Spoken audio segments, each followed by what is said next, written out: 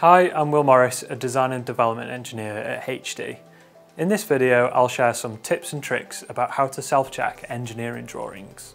Until the future arrives, where engineering drawings are a thing of the past and everything is captured in the CAD model data, engineering drawings are still an integral factor in the design and manufacture of components.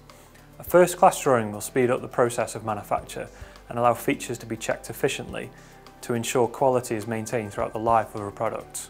The typical self-check tools and processes for engineering drawings are as follows. An on-screen check, which is a lightweight review to identify obvious issues or deficiencies. A 2D drawing checklist, which is a general list of features which must be on a drawing. A PDF output check, a printing check, and an Adobe DC check. Checking the drawing as you're drafting is the best way to capture any mistakes and implement corrective action before it's released for formal checking.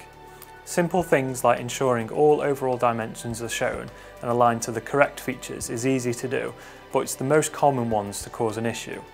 However, it's recommended not to get too held up ensuring the drawing looks perfect, and to focus on the essential requirements of the design intent. Tidying up can come later if required. Creating a 2D drawing checklist for your company is strongly recommended. It helps new starters prepare new drawings to the appropriate standard before involving a formal check.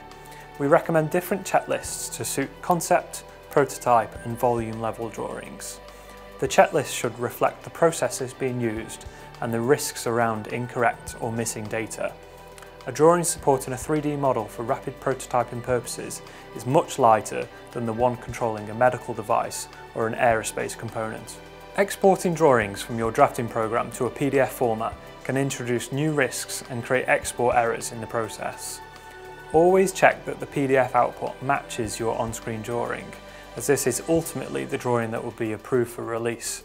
Having a combined PDF is great for spotting things like issue numbers, rev levels, general notes, and drawing numbers by quickly scrolling through.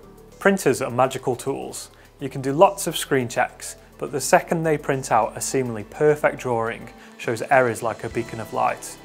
It would be great to avoid paper printing, but for some reason an old-fashioned print can often flush out something which a screen check just can't do. When producing a complex drawing that is produced on a large border, a decent compromise is to use an A3 size, as it can be incredibly difficult to spot A1 size drawing errors on an A4 page. Adobe DC is a useful digital tool to have in your inventory. Digital comments can be added to engineering drawings highlighting dimensions or notes, and corrective comments can be typed up next to them. These can be quickly emailed across the studio to drawing checkers to review and approve. Another key feature in DC is the PDF Compare tool.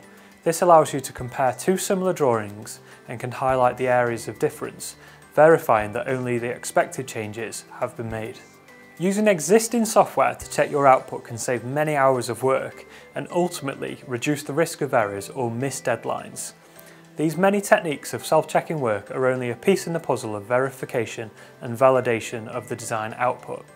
However, it's good practice to incorporate into your everyday design workflow.